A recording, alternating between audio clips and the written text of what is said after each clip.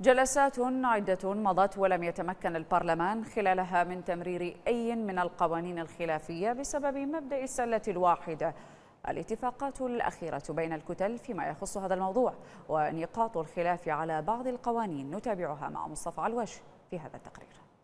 بفشل القوى النيابية في تمرير القوانين الخلافية في سلة واحدة خلال الجلسات الماضية للبرلمان وما تسبب إثرها من جدل سياسي. تعتزم بعض القوى النيابية مغادرة هذا المنظور الذي ترى فيه بعض القوى أحد أوجه عدم الثقة بين مكونات مجلس النواب.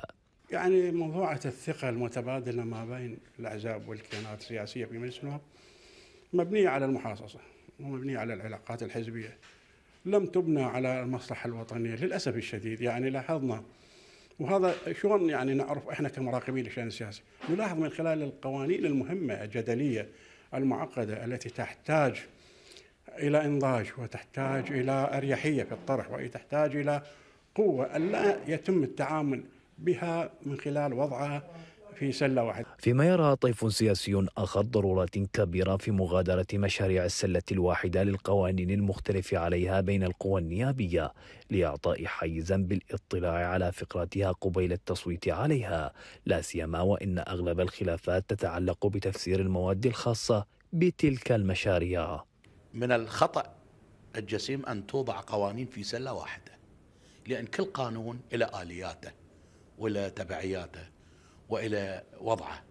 يفترض أن يناقش ضمن سياقات الدستورية والقانونيه على حدة لكن أن يتم جمع القوانين في سلة واحدة أعتقد هذا به مثالب كبيرة وهذا يعني أن هناك صراع سياسي داخل الكتل السياسية.